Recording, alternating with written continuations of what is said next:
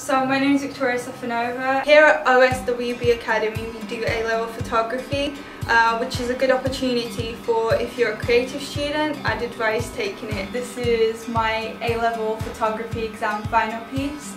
Um, this project has been to do a lot with land use, consumerism, mass production and what people do to the earth, how much we litter, how much we buy, like it's not about having the materialistic lifestyle, it's about being aware of the amount of plastic you use, the amount of paper you use in school even, and just trying to save a little bit of the planet for the next generation. By doing A-level photography, I was able to discover what I'm good at and what I'm not so good at. Um, through this process, I was able to choose media communications to study, go on and study further in university.